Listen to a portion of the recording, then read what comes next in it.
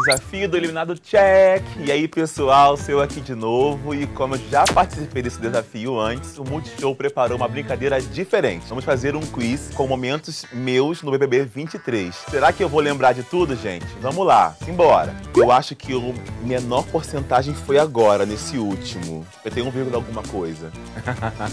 yes! Não me engano, foram 11 horas e 59 minutos, quase 12 horas. Ah! Ih, menina, nenhuma. Acho que prova, prova que líder e anjo? Acho que nenhuma. Aê, é bate volta, é verdade, do Spotify.